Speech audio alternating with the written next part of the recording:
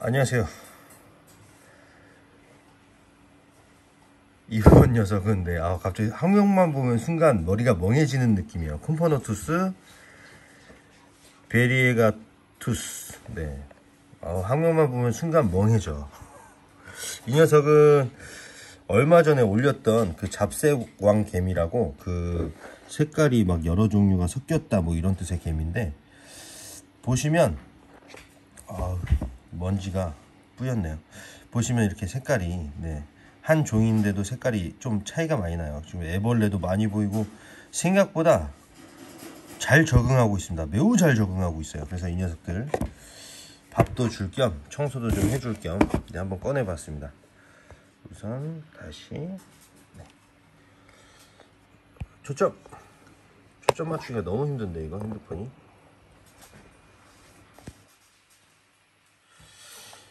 꿀물도 꺼내고요. 안에 죽어 있는 뭐 시체라든가 찌꺼기들.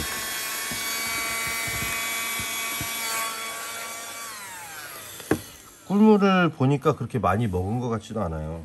근데 온도가 온도나 습도가 좀 맞았는지 생각보다 빨리 불어나고 있는 종인데요 지금. 자 넣어주고요 먹이는 미뢰물 넣어주도록 하겠습니다 미뢰 지금 활동성은 아직 초기 근체라서 그런지 매우 활동성이 적은 상태예요 그래서 먹이 먹으러 나오는 모습은 좀 보기가 힘들더라고요.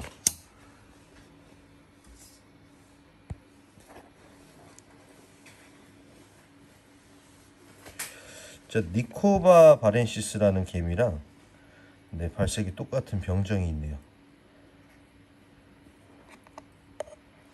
굉장히 반딱반딱하네요, 여왕은. 개체 간의 색깔 차이가 있어요. 네. 생각보다 개체 간의 색깔 차이가 이렇게 좀 많이 나서 잡색이라고 하는 건지 이유는 잘 모르겠네요.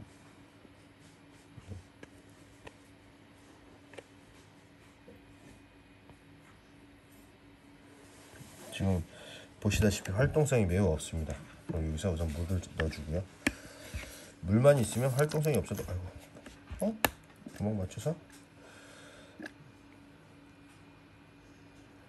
물을 넘치게 넣어줄 겁니다. 이만큼 가득 네. 턱에 찰 정도로 넣어주는 이유가 보시면 물이 빠르게 내려가는 걸 보실 수가 있어요. 그죠? 굉장히 빠르게 내려갑니다. 예, 왜냐면 석고가 물을 흡수하기 때문에요. 어느 정도 습도를 맞춰주려면 처음에 이렇게 종종 이렇게 넣어주는 게 좋긴 하더라고요. 다만 너무 과습하면 이제 그 곰팡이가 생길 수가 있기 때문에 너무 과습하지 않게 넣어주는 게 좋고요. 얘네들은 진짜로 참 잘 크고 있어요. 네.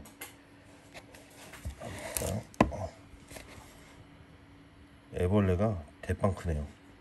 병정이 될라나?